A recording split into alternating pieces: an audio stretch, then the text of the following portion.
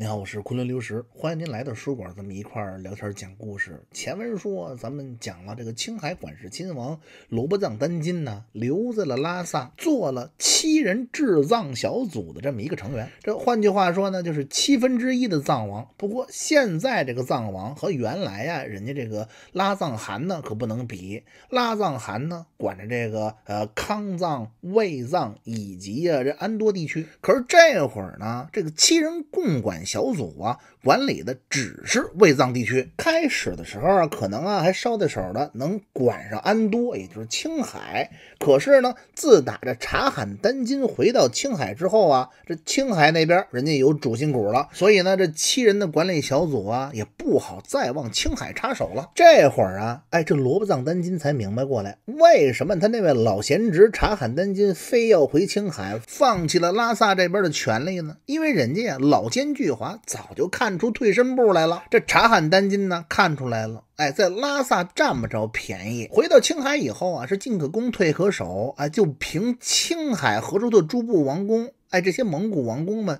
和大清朝对抗啊，没这个实力。那没这个实力，就只好听皇上安排。这皇上要说呀，再选一位王爷，哎，这管理藏区事务。那么我作为一位最有威望的蒙古王公啊，我有这个实力。那皇上要说，哎，从此以后这儿就不再设汗王了。那么我早回青海，青海这边的权力我也把它攥得牢牢的。等你这个罗卜藏丹津再回来呀，我给你来一个针插不进来，水泼不进去。那么说，这罗卜藏丹津这会儿，他也明白过味儿来了，他这个气呀，就别提了。我跟您说呀，这小人物要是憋了一口气呀，就离打架不远了；这大人物要憋了一口气呀，哎，那就离打仗不远喽。所以这精彩的故事啊，他这就来了。其实这帮子和硕特青海蒙古王公啊，这亲王罗卜藏丹津也罢，这郡王察罕丹津也罢，他们不知道，这大清朝本来啊，在制定方略方针的时候，就是玩你们来的。本来呢，就是想让你们出兵出人出。出力，最后啊也没想给你多少实惠。第一步呢，强大的统战工作，先把安多地区，也就是青海啊，划进了大清的版图。然后借着这个屈准宝藏这个机会呢，岳钟琪又拿下了康藏。这理塘巴塘地区啊，自古就属于和硕特汗国。哎，这个和硕特汗国青海的诸王公，每年都能吃到理塘巴塘地区啊税赋的红利。那这下完了，哎，这回啊税啊都。都归大清朝了，一分也到不了你们手里了，并且自固始汗以来，世代注目的安多地区、青海附近呢，倒是还归这个和硕特汗国原来呀这个两翼王公管理。不过您现在可不是和硕特汗国的王爷了，因为啊这和硕特汗国呀亡了国了，这儿归大清朝管。虽然在这儿您说话算数，您这王爷是大清朝册封的。那从实力上来讲呢，你要是给想跟大清朝别别扭啊，那大清朝灭你分分钟的事儿。所以说呢，这盘棋不管你何处的韩国这群人怎么下，那注定啊就是一个败局。其实啊，一七二一年那年是康熙圣主六十年。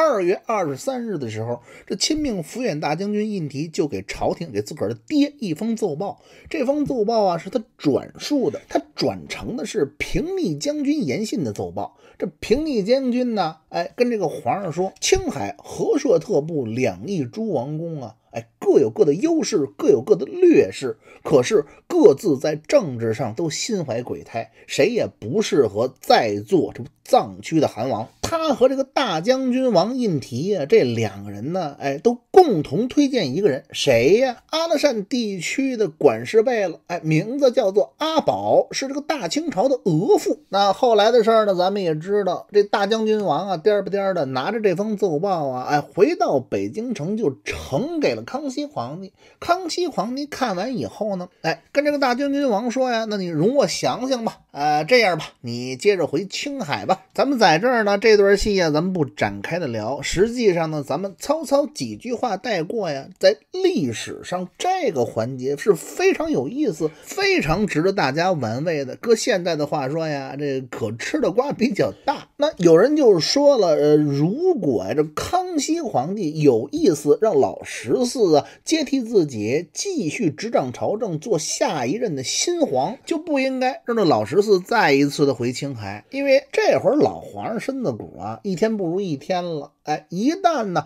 有个突发疾病。驾崩了，那么楚军远在千里之外，那些别有用心的人呢，就会有可乘之机。您就比如说吧，这正大光明匾后头啊，藏着那个立楚的诏书，哎，就会有人呢把这个传位十四皇子改成传位于四皇子。当然了，这民间传说这个环节，您要是信呢，您就信；不信就不信。哎，这个不是咱们今天这段书要交代的主要内容。所以，综上所述啊，很多人说的这个康熙皇帝还。还是没想把这个皇位传于老十四，要不介也不至于在自己的晚年让他述职之后还回青海。可是咱们这部书啊，既然咱不讲九子夺嫡，咱就不往那头扒扯，咱们得按战争讲。咱们从今天这个故事角度啊，说一下这老十四为什么又被派回到青海。我敢肯定，当时啊，老十四再回青海，那是康熙皇帝愿意，这十四爷大将军王也认可，也愿。意的，您不知道，在屈尊宝藏之后啊，这藏区人民对这位大将军王的仰慕敬仰之心呢有多么的高。您现在要去拉萨呀，在布达拉宫的方城南门外，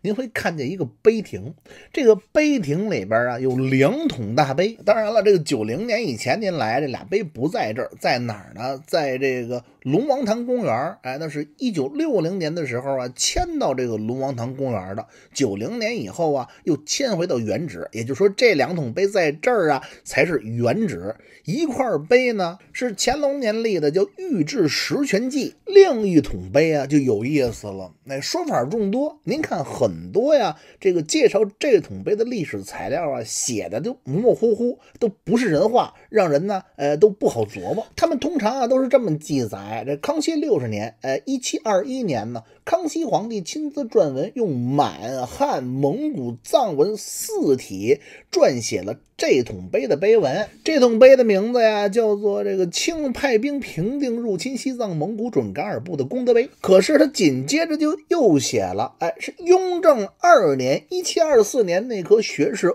鄂奔等人呢立于布达拉宫门前，哎，所以我才说呀，哎，这些介绍啊，他都混了蛋了。你到底是一七二一年立的呀，还是一七二四年立的？哎，实际上这块碑啊，有它两次的前世今生。一七二一年，康熙六十年，这块碑出立的时候，那碑文上边啊，全是夸大将军王胤禔的功绩的，以及呀，这个蒙藏当地的人民对大将军王的敬仰之情。这康熙皇帝呢，驾崩了，雍正皇帝登基。这雍正皇帝一琢磨呀，这碑文这么写可不行，这。碑呀，石头的东西能够流芳千载，流芳百世。那这上边给自己的十四弟歌功颂德，自己的政治对手，那他能乐意吗？于是啊，他就让这个大学士、内阁大学士鄂奔等人呢，把碑文换了，把内桶碑砸碎了。有人说这残碑呢被运到后藏掩埋，也有人说呀，不是这个残碑呢被沉入了雅鲁藏布江的江底。反正怎么说都有。实际上，您现现在看到的这桶碑，它已然不是康熙六十年立的那桶了。哎，那您现在看的碑文呢？上边提的是什么呢？哎，主要提的就是大清朝，呃，主要提的就是圣主康熙皇帝对这个大将军王胤提呀，哎，就没再多写。所以说呢，咱们这个讲故事啊，咱们不光是讲历史，咱们也得聊故事。这就是这桶杯的一段小故事。那咱们聊这些，就是为了要突出这大将军王胤禔和这康熙皇帝都是想要胤禔啊述职以后立刻就回到青海。这里边啊，它原因呢有二：其一呢，这康熙皇帝没想到，哎，转过年来自己就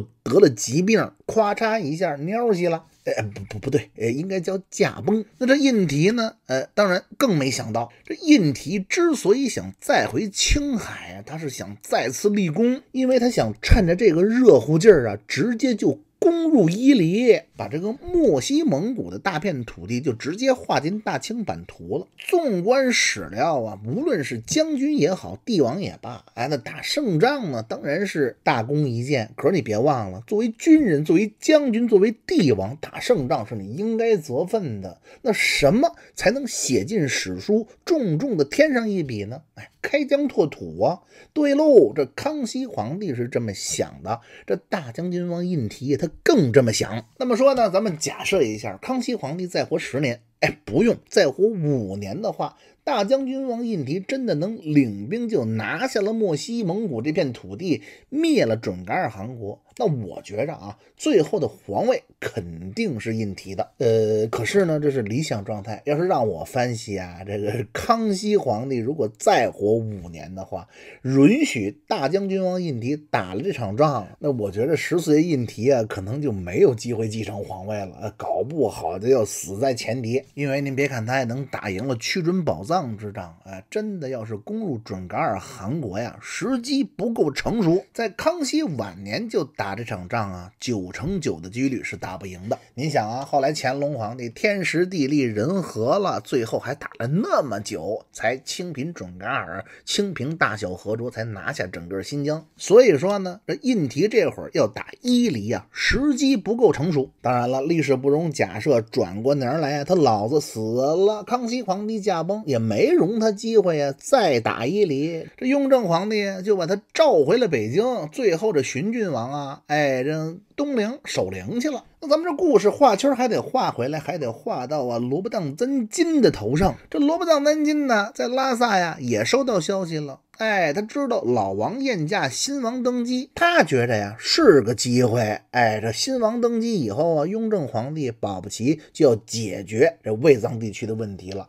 就要立卫藏地区的汗王了。哎，他想的不错，这雍正皇帝登基伊始考虑的还真是现在西藏的这个状况。可是谁也没想到啊，这雍正皇帝啊，这脑子里边的先进思想太多。哎，他主张的是什么呀？主张的藏人治藏。哎，以后啊。这藏区的事儿啊，和你们蒙古王宫啊，啊，就别再有瓜葛了。取消了七人的领导小组，那这个小组呢，是三方势力组成的。咱们都说过了，呃，首先说就是大清朝，其次呢，这蒙古的和硕特部王宫，再有呢，就是人家这个西藏地方的贵族。成立了之后，谁也没想到，并没选出一位汗王来主事，又选出了一个以藏人为主的三人管理小组。雍正皇帝一声令下，啊，把原来。的这个第八制就改成了噶伦制，这噶伦呢一共三人，而且这皇上说的清楚，这三人噶伦呢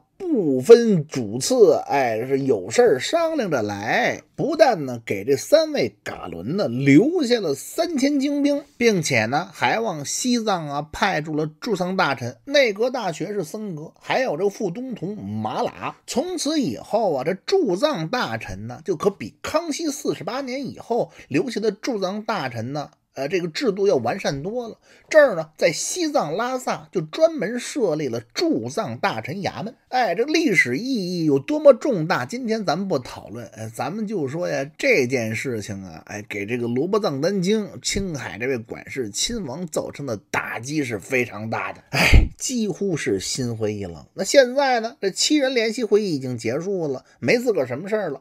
于是啊，他心灰意冷之后，给朝廷就写了一封信，跟朝廷说。说我呀，太想念自己的母亲了，我要回青海看望自己的母亲。呃，雍正皇帝呢，哎，不疼不痒的呢，也就批准了。回到青海之后啊，这罗卜藏丹津自然还是生了一肚子气，因为原来呀，属于自己的草场，这一看呢，被自己的老贤侄啊，察罕丹津占的也不少，并且呢，察罕丹津在这儿已经又经营了几年了，自己在说话呀，哎，也不怎么管事儿了。再瞅自己这位老贤侄察罕丹津呢，猪八戒吊干烧啊，得吃得喝。他这会儿倒是啊，和这个大清朝廷一个心儿，把自己呀，哎，晾旁边了。那么说这时局发展对这个年轻的亲王罗伯赞南京的打击结束了吗？没有，这最后的一锤子呀还没来呢。雍正二年的二月五日，雍正皇帝新皇登基的第二年，发下的谕旨。这谕旨的内容啊，是封赏这些在屈准宝藏当中啊做出突出贡献的蒙古王公的。这个呀被封为了贝勒，那个被封为了贝子。又听话又有眼力劲儿又不闹。事的察罕丹金呢，一下子就被册封为了亲王。听到最后啊，来了什么来了？呃，关于如何奖励罗布藏丹金的旨意来了。要不然说呀，这雍正皇帝是真有出手的，真拉得下来。旨意的前边他先说呀，说这罗布藏丹金在这次战役当中那功劳大了，真公我怎么封赏你啊都不为过。怎奈何呀，您以这个爵制亲王不能再高了。对呀，您都亲王。了，我还封你什么呀？封你个二皇上？那那不可能。